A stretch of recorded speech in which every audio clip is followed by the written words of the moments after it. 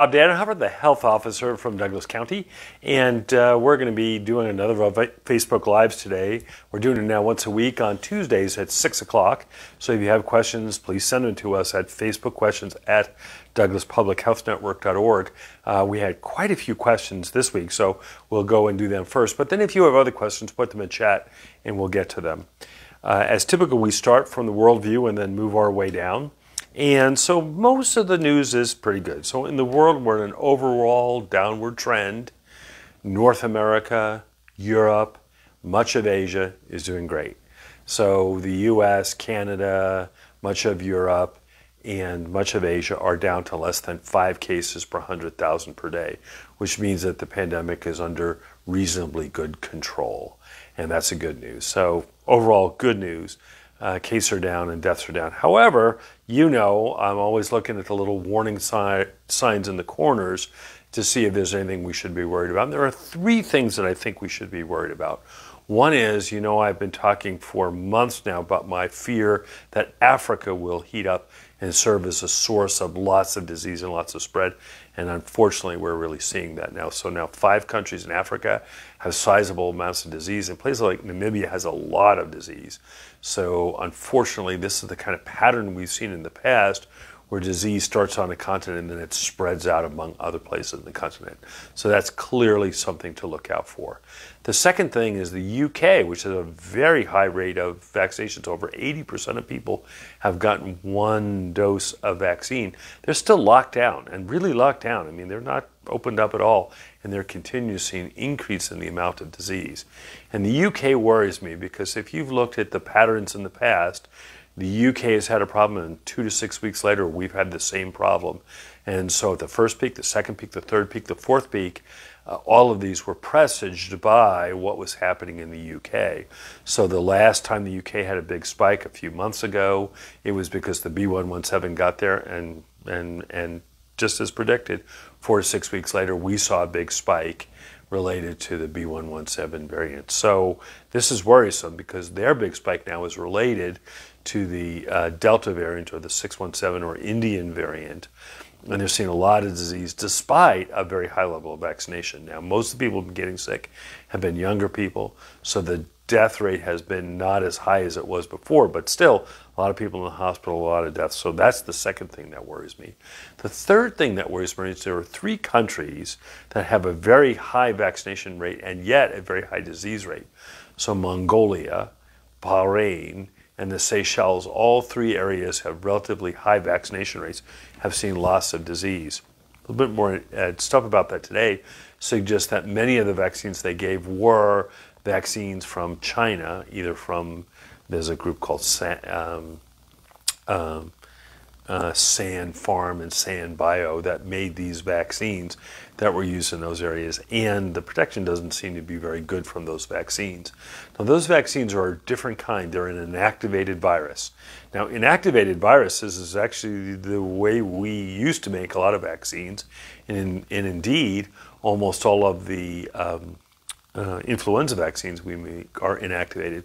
So what you do is you get a virus, you grow the virus, you inactivate the virus so it can't spread in people. So it's like a dead virus that you inject in people, and uh, it's the way we made uh, polio vaccine and other kinds of vaccines along the way. It's a very tried and true method, but doesn't give you very high levels of immunity. And it appears in this case that these people do not have high levels of immunity. And when faced with the contagious Delta variant, that they can have a breakthrough with at least that vaccine. Now, we still think the mRNA vaccines, the Moderna and the Pfizer, still are really quite good against all the variants. Not quite as good as the ancestral forms, but they still seem to be pretty good against some of the variants. So, again, the world is overall doing well, but three warning signs Africa heating up, the UK having a lot of disease despite lots of vaccination, and then uh, three countries with high vaccination rates with the Chinese vaccine, which seem to be having loss of disease.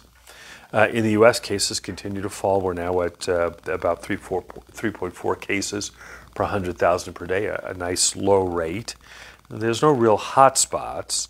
Missouri, Louisiana, Arkansas, that little stretch there along the Mississippi, do seem to be kind of struggling. This is worrisome because these are areas which are relatively low vaccine. But overall in the country, the deaths are also falling. We're averaging now less than 300 deaths a day. Now, it's a little amazing that we say, oh, less than 300 deaths a day. It's still a lot of deaths. Um, and still, overall, we've had 600,000 deaths. Now, I'm sort of a student of history, and I look back over all the wars that we've had, and very clearly, the number of deaths that we've had in the uh, from COVID are more than all of the combat deaths in wars fought by the U.S. since 1900. So all of the combat deaths was about 300,000. 600,000 people have died of this. Now, obviously, people in war die of other things, and the total number of deaths is slightly higher than the 600,000. But still, this is a lot of deaths, and in perspective, all of those war dead who we who we really mourn and really lost, this death is in that in that range. So it really is a significant thing. In Oregon, uh, slowing down again, we had the lowest number of cases in an entire year today, 74 cases. Now that may have been a little bit in a little bit of problematic reporting, but nonetheless, a relatively low number of cases. Douglas County also, which has, has seen a little spike over the last month, starting to see a decline. We had a quiet weekend, a few quiet, quieter days now, but we're still not less than that five per 100,000, which is kind of in the range we want to be, and eventually down to about the one per 100,000. The outbreaks we're seeing are, again, almost all in unvaccinated people. Uh, we are seeing, we have one outbreak at a residential care facility where there were people who were vaccinated. We're not sure what went on there, but for otherwise, generally, people who are unvaccinated are not getting sick, and people who are vaccinated are getting sick. Um, uh, we're also seeing spread in other workplaces. So one person in a workplace gets it. If other people are not vaccinated, pretty much everybody else has gotten it. So we really, really, really are working hard on getting people vaccinated. We've got a lot of other interesting stuff today that we'll get to. Just a few other things. One is Oregon is nearing the 70% vaccinated. When Oregon gets to the 70% vaccinated, there's going to be a relaxation of many of the restrictions. When I last checked this afternoon, we're about 40,000 uh, first doses away from that 70%. And if things go well, we should hopefully hit that by next week. We're having a big vaccine event this Saturday. Maybe this Saturday actually we'll hit it here in Douglas County, and that would be a good thing. Next week, they're going to have the drawing for the million dollars for uh, a vaccinated person, and then a drawing for some uh, college money for kids less than 18. So, again, this weekend, at the fairgrounds from 9 to 1. So if you know anybody who's not been vaccinated, 12 and above, please have them come and we'll get their vaccine done. Um, all right, let's get to our questions here.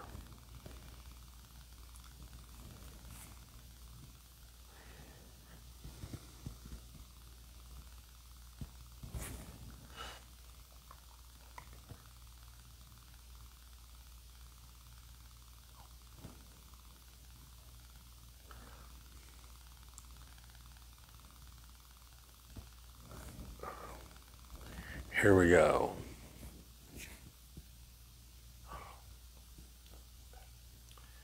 Uh, not quite. Um,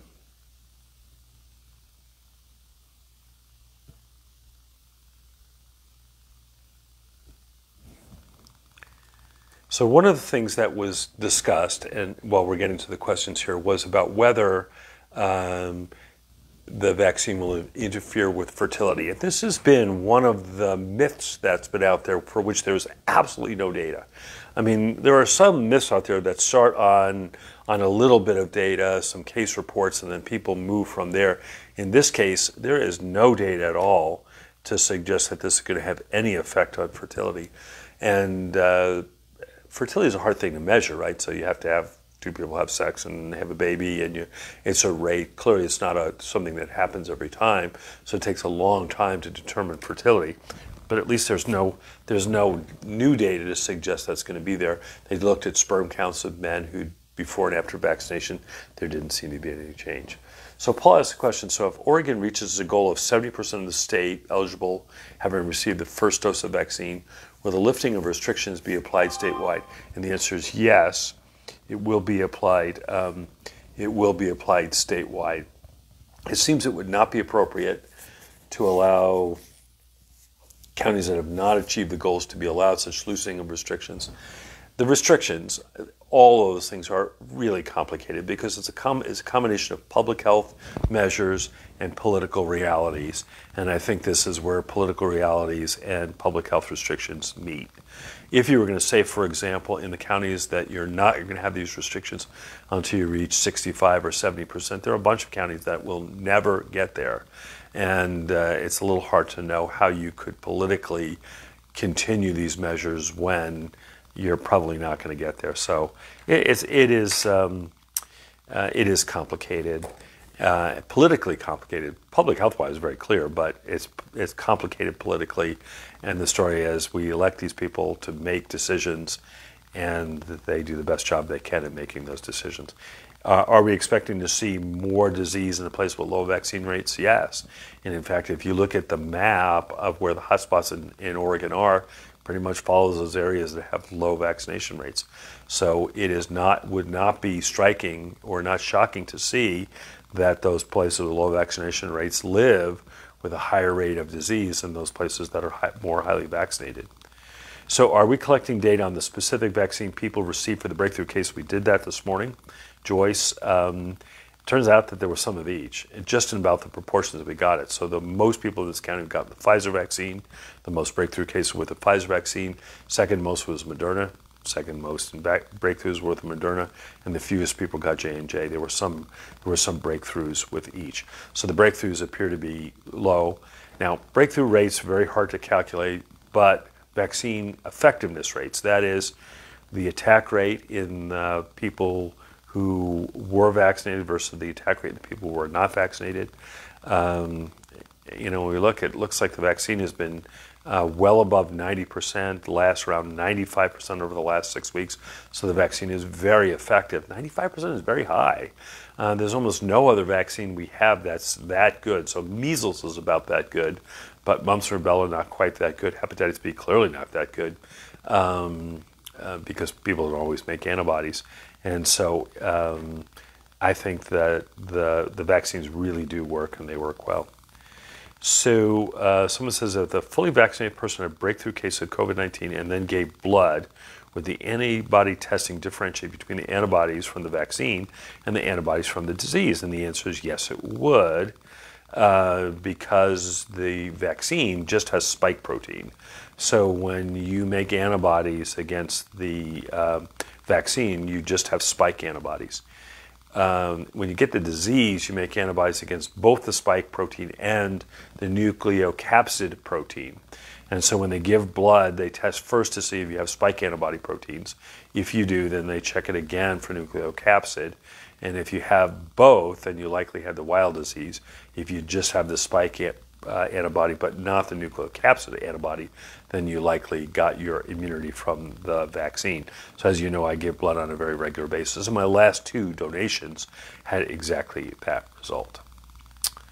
So, um, Karen says, Is there any progress being made on an antiviral pill that could help fight COVID 19? Well, you know, I've been talking all along from the beginning. The way we got rid of other viral pandemics hepatitis C, HIV was not through a vaccine, but was through the development of a very effective anti, uh, antiviral drug. Antiviral drugs are hard to make. They take a long time.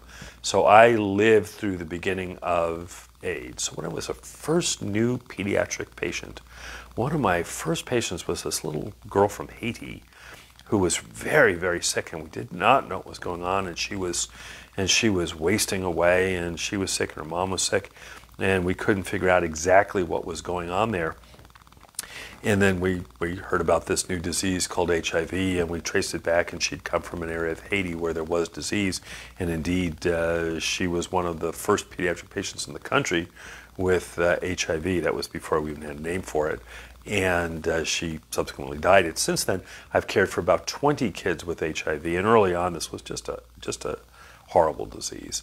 Um, kids did badly. They, they, they, just, they just did not survive well. And then we got the antiviral drugs and they did better.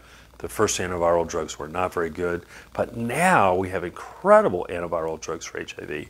And so not only there are fewer pediatric cases, but anybody who has HIV can live a long, happy life. Look at Magic Johnson. I mean, I remember back early on, he, he was diagnosed, and yet he's been very well because of the antiviral drugs. So antiviral drugs work well, but they take a long time to develop. For any of us who live with people we know have hepatitis C, you know, hepatitis C has been just a nasty disease for a long time, and over the last five years, we've developed very effective antiviral drugs that work almost 100% of the time. And so antiviral drugs are really a key, and one of the big lacks we've had is we did not put nearly enough time and effort into antiviral drugs um, because we know they can work. They take a long time to develop, but they can work.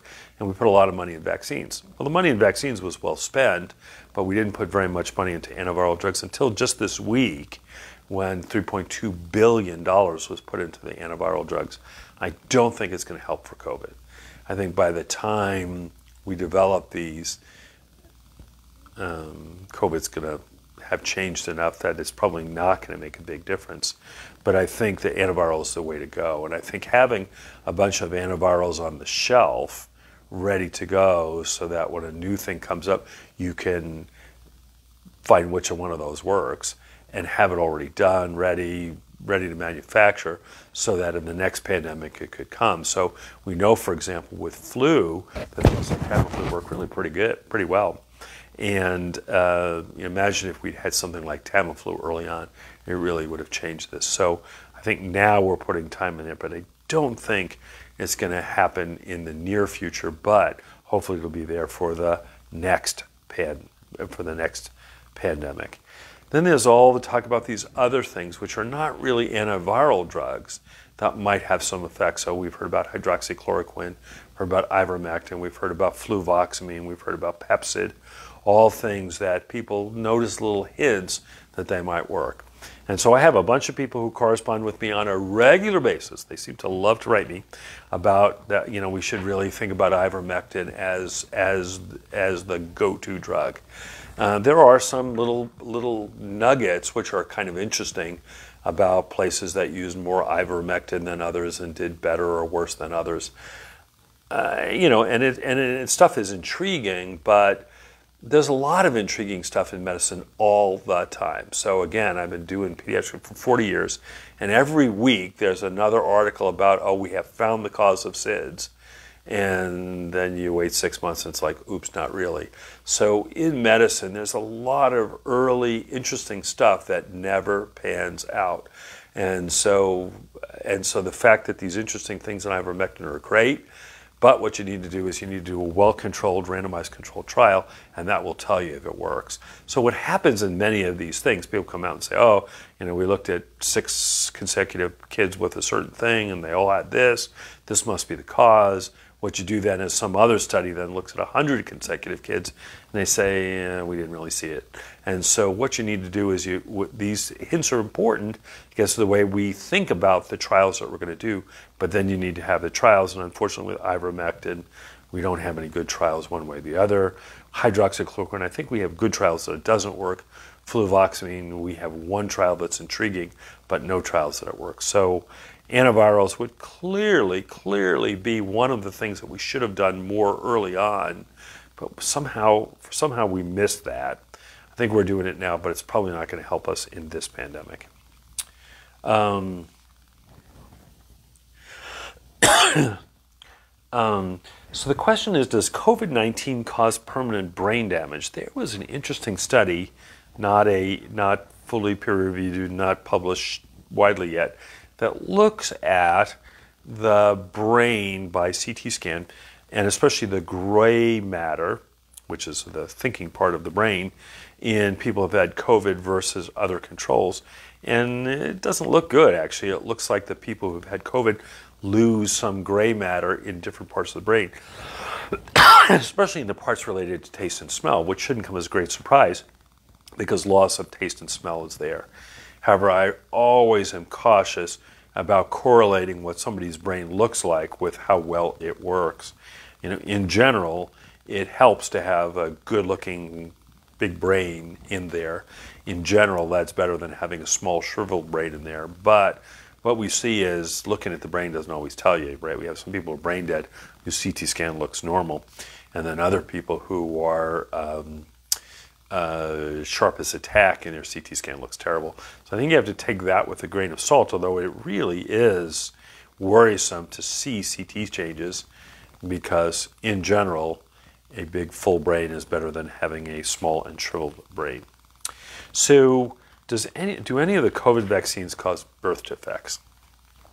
None that we know of.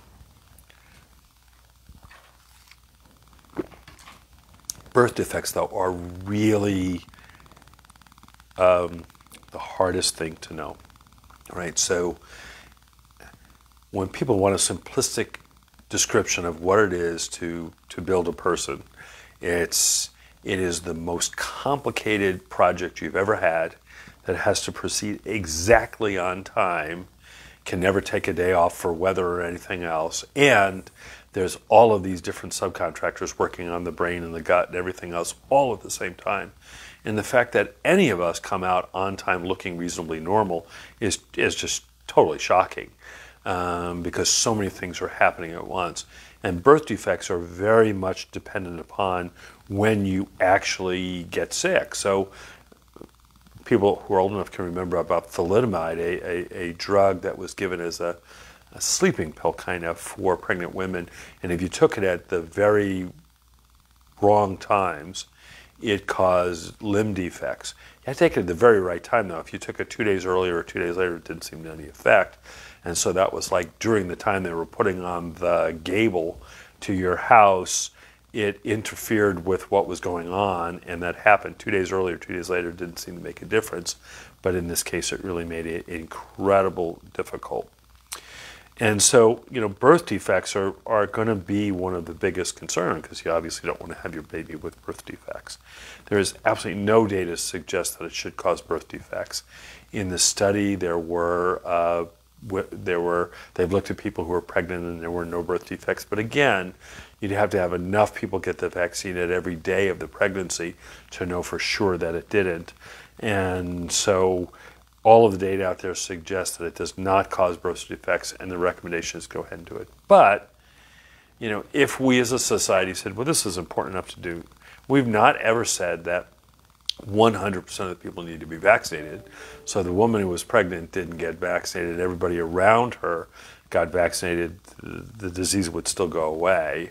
And so, you know, people with really weak immune systems, people with a history of bad allergies, people who are pregnant, if that small group of people decided not to get vaccinated, the rest of us did, um, we would not be in where we're at now, right? We would have over 90% immunization and we would have very few cases. So the person says that there's a thing called mothertobaby.org. I looked at that, it looks perfectly logical. It has most of the data that I've seen from uh, the CDC, from ACOG, which is the American College of Obstetrics and Gynecology, and the Society for Reproductive Medicine. Those all seem fine, and all of those suggest it's perfectly fine to get the vaccine, and I would agree with that. But if you really are nervous, you know, if the number, if people in the first trimester didn't get vaccinated, we'd still have. There's only there's only at any one time in all of Douglas County 300 people in the first trimester that means that there's still 111,000 who are eligible for the vaccine. So that would be okay. So someone says, does the Portland VA have problem counting their immunizations? So the problem is with the VAs is not that they have problems counting their immunizations, it's they have trouble reporting their immunizations to state registries. So the VAs have different rules about reporting their immunizations than do other places. So when my clinic reports vaccinations, they report the vaccinations to a place called Oregon Immunization Alert, and they provide the names and addresses of the people who got those vaccines. So later on, you want to find out, oh, I can't remember when my last tetanus shot was, you can look it up in the Oregon Immunization Alert and get it. The VA proudly on their website says that we'll tell about vaccines, but we don't share your names or addresses. Well, obviously, without the names or addresses, it's really difficult for us to count those those vaccines, and that's what the issue has been. And the issue is just that VA, a federal agency, does it differently than all of the other local agencies. The tribes are also a little different. Uh, to their incredible credit, the Cow Creek not only does it to the feds, but they also are entering it manually to the to the state. So that's the trouble. And and again, the Portland VA It's not trouble counting it, it's trouble reporting it to the state registry. So, um, do other county total up their positive case at noon? Well, most other places aren't giving the same kind of information we are. So, we, from the very beginning, did our cases using the very best and latest and up to date information. And our information is almost always better than the state's, and not surprisingly, because case will come in, the people from the hospital will call me day or night. We'll talk about the case, we'll do all those things. So we knew about the case way before the state does. And early on, when there weren't very many cases, you know, two cases today and no case tomorrow, three cases the next day, we wanted to know about the cases as we wanted to tell people about the cases just as soon as we could. And so we published them every day at noon, and they were totally accurate until 11 o'clock. Over time, the numbers are are very accurate. We could report them some other time. We can look into that. Doesn't really really do it. The question is, who's doing it correctly? I think we're doing it each in our own ways. I think both are correct, but they are slightly different, but not really that uh, in the end that different. Now, the one difference is reporting deaths. When Douglas County reports a COVID death, this is a death where the person both had COVID and their death, after I review the records, is very likely due to the COVID. So early on, there was a concern like, well, everybody who dies, they get COVID tests and they say they died of COVID when they really died of a car accident or they died of, uh, you know, a heart attack. And so we look at every death, and, we, and Douglas County only reports the deaths where the bo- both person both had COVID and they died related to COVID. Now, not always. COVID was COVID is, is never the cause of death, right? So COVID in and of itself doesn't ever cause anybody to die. It's the thing that COVID causes. So COVID causes pneumonia, which leads to respiratory failure, which leads to death. COVID causes a bleeding problem, which leads to a stroke, which leads to death. COVID causes renal failure, which leads to other metabolic problems that leads to death. So COVID is always the when the ones we report is there. Now the state reports deaths where the person both had COVID and died, even if COVID didn't exactly cause it. So you'll see that there's a slight difference in the death reports. And again, we think our numbers are the most trustworthy, and I would look at if, if I had one place to go, go to the Douglas County numbers. Uh, we could switch to a midnight count, but again, then you're going to miss the cases that we would get reported early in the day, right? Because we're not going to report, we're not going to do our, our update at midnight. We're going to do our update at noon. And again, if you do midnight the night before, you lose all those cases in the morning. And sometimes there's as many as 10 cases in the morning that come in. So I think we're going to keep doing what we're doing. So this is a long question here, and I'll, I'll paraphrase here. So we have a mom who's got a, who's got a kid who's three years old, really at severe risk, has already had pneumonia and so people else in the family have been vaccinated, um, but there are other kids in the house who are too young, and sort of this three-year-old is too young. We've tried uh, to keep my son isolated and follow strict mask and safety guidance as a family, and because of his special needs, he can't wear a mask, and thus it's been pretty hard. So the question is, when is it safe for my son to go in public, like grocery shopping, church, attending soccer games and track meets? Do we have to wait for the vaccine for him or 70% of our county vaccinated? His doctor doesn't have an answer. So I'm going to give you an answer. And so the story is that as you, people have been watching this, never I'll never say this is perfectly safe and this is perfectly risky because even the riskiest thing that you could do, place where there's a lot of people with COVID, you not vaccinated, you don't wear a mask, and you go to a crowded party, Still, that doesn't mean you're going to get infected. In fact, most people wouldn't, but still a lot would. And then even in the safest situation, there might still be a breakthrough case. But for the for the son, there would be some things that would really be much safer. So outdoor activities like the soccer games and track meets, much safer than an indoor activity like a small church group. So a small church group inside 20 people in a small room, poor isolate, poor ventilation, that would be riskier than outdoor track meet. Again, we've seen very, very, very little transmission outdoors. Uh, shopping, tends to be big, wide spaces, very good ventilation in grocery stores. So grocery stores are somewhere in between. So outdoors, really quite safe. Grocery shopping, safer. A closed thing like a church meeting or a or a school meeting or something would be would be more dangerous. Do you have to wait until 70% are vaccinated? Again, there's no magic number about this. It's not like when 70% of the people get vaccinated, the disease will go away or the disease will be rampant until we get to 70%. But as we get more and more people vaccinated, we'll have fewer and less and less disease, which is kind of what kind of what we've seen. So I, I would everybody comes up with a different risk threshold, and it sounds like your risk threshold is pretty high, and so so I'd start with some of the, I mean, like anything we do when we, we start doing things a little more risky, right? When we start driving, we don't start driving at night in the rain. We start driving in the daylight hours, slow, and then increase our risk. So, what you might do is to go to the sibling soccer games and track meets, which should be very safe. See how it goes.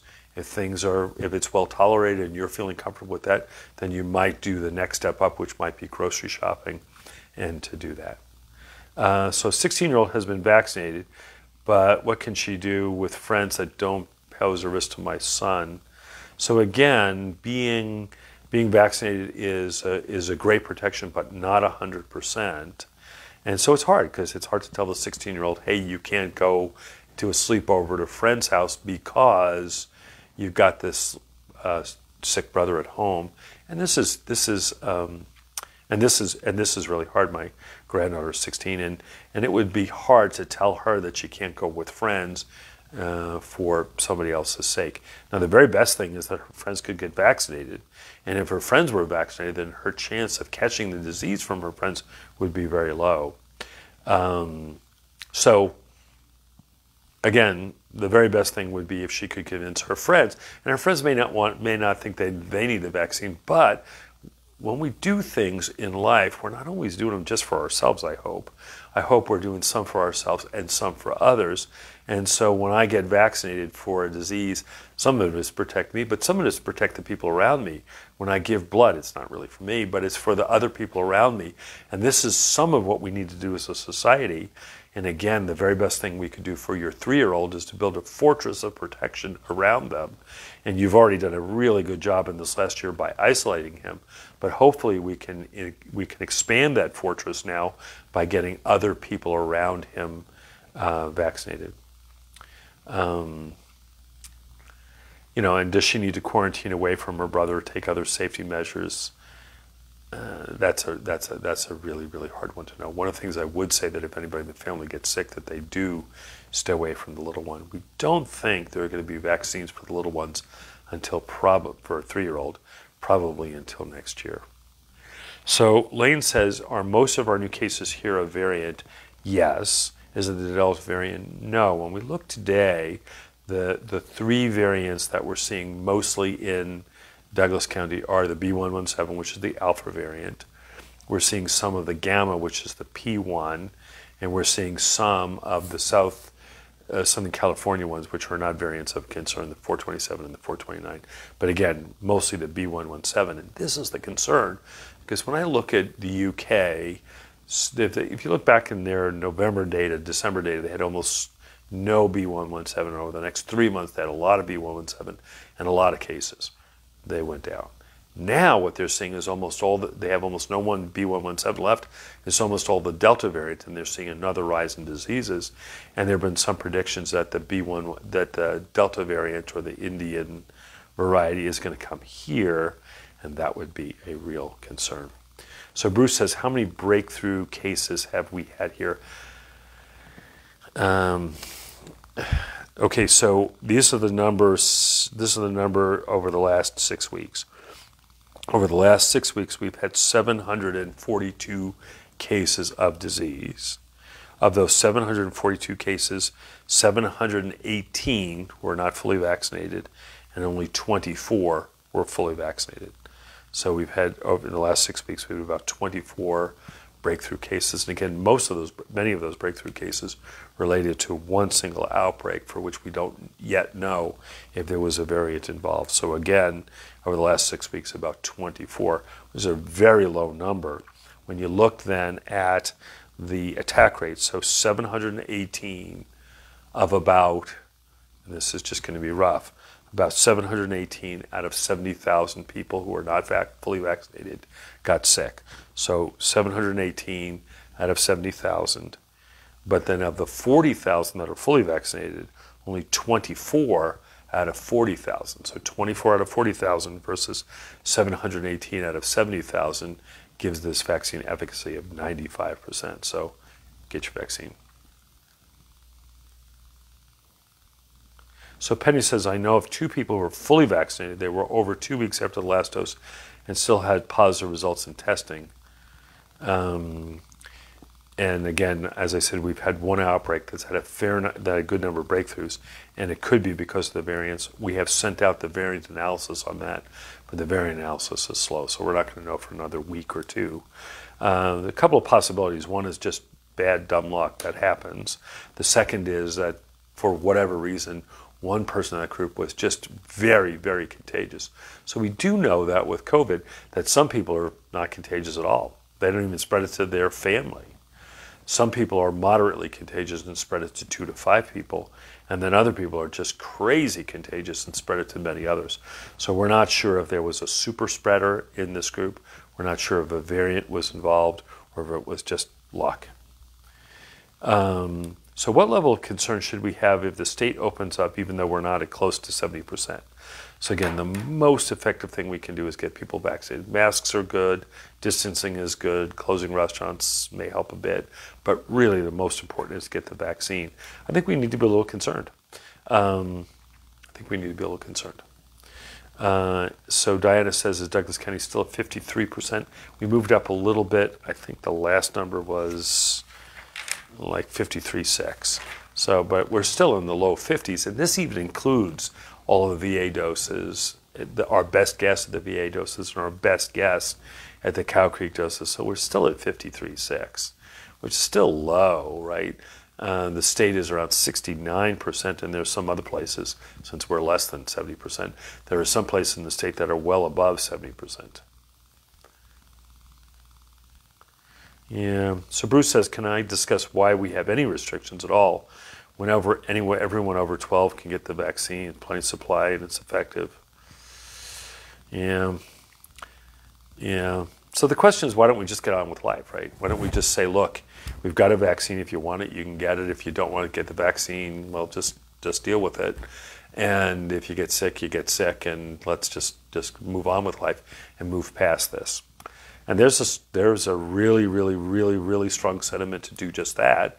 And in fact, much of the country has gotten there that, hey, there's a vaccine there. If you want to get it, get it. It's free will. If you want to get it, great. If you don't want to get the vaccine, it's your choice and, and do it. And, and that's certainly a strategy. And I have mulled that around in my head. It's a little disappointing, right? It's a little disappointing that you have effective treatment and yet people choose not to get it and they live with the consequences. And this is how we do other things, right? There's dental care out there, and yet there are some people who don't have good dental care, and they run around with terrible looking teeth. We have lots of smoking cessation stuff out there. We know people know smoking is bad, and yet people continue to smoke. And so, is this just going to be in the same way that we know that there's disease out there, and if people get it, they, they get it, and it's their choice not to have gotten the vaccine? And that may be how we as a country choose to deal with this. To me, that would be really disappointing. Right? I mean, we didn't say the same with polio, right? We didn't say, well, you know, we it's the the iron lungs are opening up, and uh, these these crippled kids with braces, well, if they get it, their parents should have gotten vaccinated around them. Uh, and so Bruce is probably right that this is where it's going to go. But I think for me, that's terribly disappointing when we have the perfectly good uh, we have the perfectly good, safe, and effective vaccine uh, here. And so who knows what's going to happen with this. You know, one of the concern, um, so one of the concerns for um, this though is that smoking won't change, right? So smoking causes whatever disease it has, and it's not like smoking is going to, if you let people smoke, it's going to affect really people who don't smoke. The problem with this is if this disease continues to spread and continues to have lots of unvaccinated people, you could now have a really nasty variant. So a really nasty variant which could evade the vaccine and infect all of those people who already have gotten the vaccine. And so that, that's, a, that's a difference from some of the way we've approached smoking, right? So it's not like we could say, well, at some point, smoking is going to change. So even those people who are not smoking are somehow now going to get lung cancer. In this case, it really is an issue. So Jessica says, why is only 18 and over being counted as a percentage of vaccinated when everyone over 12 and over is eligible? Why aren't they being counted? So this is this is one of the great confusions of this of this pandemic, and because there are so many different ways to to uh, convey the vaccinated rate. So there are, for those of us who remember our fractions, the numerator, the number on top, the denominator, the number on bottom. There are at least six different ways to calculate both the numerators and the denominators, and then 36 different ways to put them all together. And so on the top, that is the people who are vaccinated. Does that mean that they have gotten one dose? A vaccine? Does that mean that they've gotten fully vaccinated, which is two doses of Moderna or Pfizer and one dose of J&J? Or does it mean that they're fully vaccinated from the public health standpoint, which is two weeks after two doses of Moderna and Pfizer? Some people would include people who were previously uh, infected in the last uh, 90, 120, or 180 days as part of the numerator. So that numerator can be all kinds of different things. And then the denominator um, could be uh, people, all, the whole population, which would actually be the right way to calculate herd immunity, the population that's currently eligible, the population over 12, the population over 16, the population 18, or the population over 65. And so there are so many, many, many different uh, variations on this. And people use these interchangeably without explaining this. And this is my bugaboo. I wrote this fairly pointed letter to the state about eight weeks ago saying we are killing ourselves because people hear that the rate of Douglas County is is 40%, that it's 50%, that it's 60%, that it's 65%, all of which are correct with the right numerator and denominator. And for the poor people who don't live this every day, you have to have one understandable way to do it. So the feds came up with one understandable way to do it, which is people who'd gotten one dose of vaccine, people over 18 who'd gotten one dose of vaccine, the denominator being people over 18. And that's what they chose to do. And actually, I applaud them for picking and sticking with the one numerator and denominator. Uh, Oregon has confused me because, for example, the 65% goal we're supposed to reach is of people 16 and above, a little different from the feds 18 and above. And, and, the, and the state interchangeably, and it's not interchangeable, uses fully vaccinated versus one dose. So that's why it is, because President Biden said our goal should be that 70% of people 18 and above will have had one dose of vaccine by the 4th of July. Are we going to get there? I don't know. Uh, we'll probably get there, but we probably won't get there by the 4th of July. So Anna says, I've recently been diagnosed with breast cancer, Graves' disease, heart disease. Oh, darn. My health is very poor. Should I still get the vaccine? Well, I'm so sorry to hear that. Um, I'm so sorry to hear that. Um, should you get the vaccine? I think every recommendation is that you especially should get the vaccine. Um, because with these underlying diseases, your risk of, of getting very ill, should you get the disease, is high. And unfortunately, with those things, your risk of being very sick and dying is high. And your risk from the vaccine is, doesn't appear to be any higher than anybody else. Now, you may not get as good immune response, but especially people with underlying conditions, really should get the vaccine. We have seen that the vaccine has been incredibly effective at preventing uh, hospitalizations and deaths. So, especially for somebody with those things, I would definitely get the vaccine. So, Veronica says the vaccine is so safe. Why hasn't the FDA approved it yet outside of emergency use? A very good, very good uh, question. So, typically, what happens is the, that the uh, FDA requires for something to get full approval.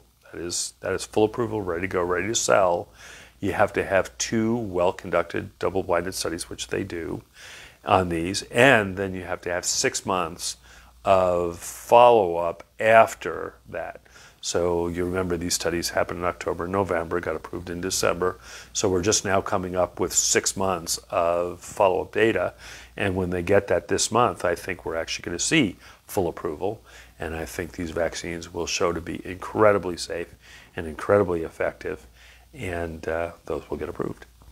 So where are we in the process of vaccinating those under 12, Deborah asks. Um, two studies that I've seen come out. They look good, but again, we have to see all of the data before we're going to go ahead and bring this down. Now, the concern is with different ages, is like with everything, there's a risk and benefit to what goes on.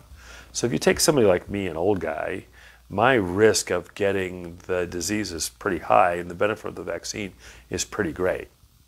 Right, so at my age, my risk of getting sick or dying if I got the disease was pretty high, and thus the small risks from the vaccine are much less than the risks of the disease. So it's all in favor of me getting it. When you talk about a 15 year old, I mean, their risk of dying of the disease is pretty low. Their, disease, their risk of getting hospitalized with the, from the disease is pretty low. And now we're starting to see more cases of this myocarditis, especially in young, young males. And so the, the, the risk benefit is really quite different for me that I've not seen much myocarditis in 65 year old guys, and my risk of disease is high versus a 15 year old. So um, I don't know. I don't know what's going to happen this week. There's going to be a discussion about risks and benefits for kids under for kids in their teens, and we'll see what they decide. Again, it's very complicated, and and there's some really really smart people on the panel. So I have a friend going to Portugal for two weeks, and I want to visit her after she comes back, which is great. Should I wait two weeks after she gets back? So again, we talk about safe and safer still, so that um, if she's vaccinated, uh, that's safer. If you waited two weeks after she gets back, that's safer. Um, far and away, the, the, the safest thing to do would be for her to get vaccinated. Um, and again, waiting two weeks after she gets back would make it uh, safer. So, uh, but but again, that's that's that's still a very small risk if she's vaccinated. Now, if she's not vaccinated, I definitely would not visit until two weeks after she got back. So, which Douglas County community has the highest vaccine rate? Nail says, it is. Drum roll. It is. Uh, it is Reedsport. Um, so Reedsport's got the best vaccine um, rate in the county. Uh, a couple reasons. One is the Lower Umpqua Hospital has done a great job working with lots of different partners in getting vaccines out. Uh, Reedsport does have an older population. The older population has had a somewhat higher rate, but uh, Douglas County community, they have done great. Um, uh, Roseburg also is pretty high, um, especially in the Melrose area. The lowest areas in Douglas County have been down in uh, down in the Riddle Glendale area, so our Tiger team is focusing on that area there. But in general, the best uh, best county, best area is uh, is uh, Reedsport, and Lower Umpqua Hospital should be very proud. Okay, let's go through a few other things. Um, uh, so we talked about the the thing where they looked at people who'd had sperm counts before and after the vaccine, and this and the vaccine does not seem to affect your sperm counts. Uh, one of the questions we get a lot is whether um, is whether natural in, natural immunity is better or or is better than what you get from the vaccine. And in some cases, natural immunity is better than what you get the vaccine. So, for example, with uh, with um, uh, measles, um, both are very good, but slightly better if you've had the disease. Uh, in other diseases like Hib, the vaccine is better than the natural disease. So the uh, Danish looked at this, relatively small country, great medical records so they could check everyone. And what they found was the vaccines were in the 90s um, among the whole population uh, having had the disease in the in the 90 to 180 days beforehand was about 80% protected. So pretty good, but not as good. But only 50% among seniors. So natural immunity is good, pretty good, and, and seems to be pretty long lasting, but it's not as good as the vaccine. Um, another thing that we have noticed recently, or we've noticed through this whole thing, is that birthday parties are our big bugaboo. Oh my goodness, I cannot tell you the number of birthday parties that have been associated with outbreaks. And think about this. So, birthday parties, at least until the summertime, tend to be indoors. They tend to be a lot of people. There tend to be singing and blowing of candles. So, they tend to be all those kind of things which tended to spread disease. So, one, this clever researcher looked at people and they looked at the chance of when in the year they would get infected. And you would think that, you know, my birthday's in February, that I could get infected in January, February, March, kind of, kind of the same as everybody else in the community. But what they found was that people had birthdays were much more likely to get infected in the two weeks after their birthday than at any other time, suggesting that there's something about your birthday that made you get infected in the next two weeks. And they postulated this was the, um, they postulated that this was the birthday party effect. And indeed, we've seen a couple of cases just like that. Uh, we talked a little bit about the Chinese vaccines, and again, the Chinese vaccines are inactivated virus viral vaccines. So you grow the virus, you kill it, and then you inject it in people. That it should not work as well is not shocking, right? Because you don't inject that much virus into people, so there's not that big an antigen load for your body to make antibodies to. Unlike the mRNA, where you inject a little bit of mRNA, but it now tells the cells to make lots of copies of the spike protein, and so your body makes a lot of immunity to the spike protein, so that they would, so that the mRNA vaccines would work better than the inactivated virus.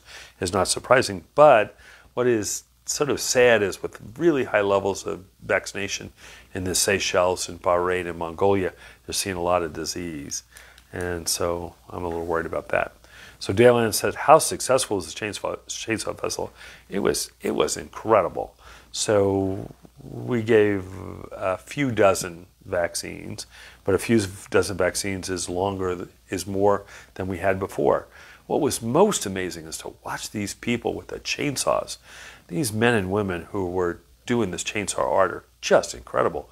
They, that they could visualize what's hidden inside that big log and the bears and the eagles and the other kinds of things are just amazing. So I would suggest if you've not been to the Chainsaw Festival, please go next year and watch these amazing people carve amazing things.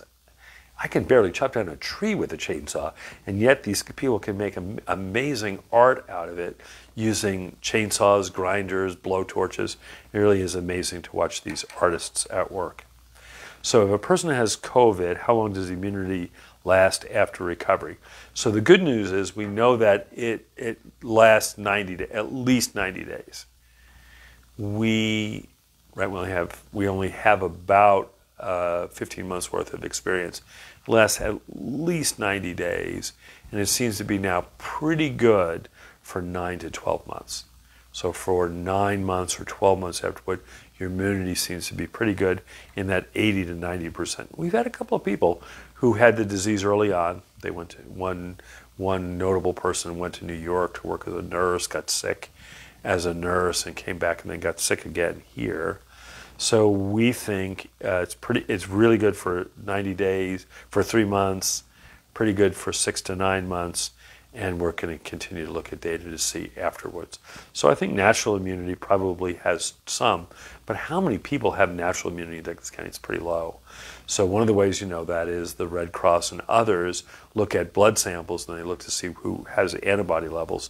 And again, the numbers in Douglas County are only about six percent who are who about who are six percent who have immunities after natural infection. So if you, even if you add that to the 53 percent or so we have otherwise, we're still only about 60 percent of people who are immune. It's not enough. Uh, that still leaves so many people out there who are unvaccinated that this could really spread. So, um, so how long should a person who has had COVID wait to get the vaccine? So early on, they suggested that you wait 90 days. The reason for that is your risk of getting the disease in 90 days was low, and they wanted to save the vaccine for someone who who didn't have any immunity because they hadn't yet been infected. So when the vaccine was scarce, that made all the sense in the world.